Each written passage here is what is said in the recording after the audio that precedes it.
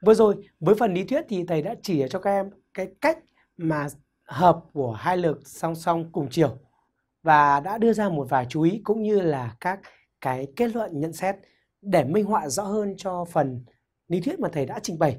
Chúng ta bắt đầu đi vào phần ví dụ minh họa. Với ví dụ 1 chúng ta cùng đọc đề nhé. Ví dụ 1. Chúng ta cùng đọc đề. Vận dụng quy tắc hợp lực song song cùng chiều, hãy nêu những đặc điểm của ba hệ lực song song cân bằng ở hình vẽ dưới đây. Chúng ta cùng nhìn đến đây. Đề bài cho ta một hình vẽ, một hình vẽ và yêu cầu đó là vận dụng quy tắc hợp lực song song cùng chiều nêu những đặc điểm của ba hệ lực song song cân bằng. Chúng ta nhìn đây chúng ta có ba lực F1, F2. À chỗ đây là F2 các em chú ý nhé, chỗ này là F2 đấy nhé. Đó, đây là F2 được không các em? F1, F2 và F3. Thế thì trước tiên, các em phải nhớ, đặc điểm của hệ ba lực song song cân bằng như sau. Đó là hai lực song song cùng chiều phải làm về một phía. Một phía, nhớ nhá.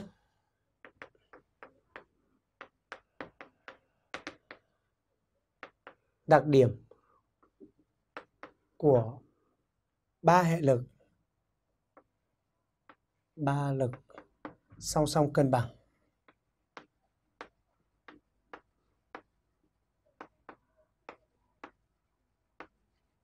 song song cân bằng thứ nhất, ta nhìn thấy ba lực F1 F2 và F3 ở đây đều nằm trong cùng một mặt phẳng có nghĩa là ba lực này, ba lực F1 F2 và F3 cùng nằm trên một mặt phẳng thì các em hiểu đó là đồng phẳng.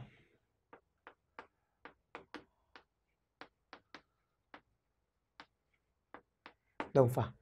Thứ nhất, đã xong. Thứ hai, đó là hai lực song song cùng chiều phải làm về một phía so với lực còn còn lại.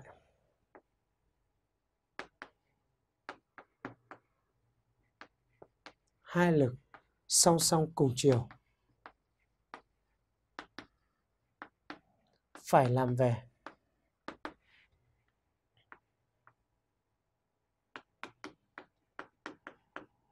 một phía so với lực còn lại. So với lực còn lại. Và thứ ba, cái quan trọng nhất, đó là gì? Hợp của hai lực song song cùng chiều phải cân bằng với lực thứ ba, thì lúc đó hệ ba lực này mới làm cân bằng. Đúng chưa? Đấy, nhớ nhá.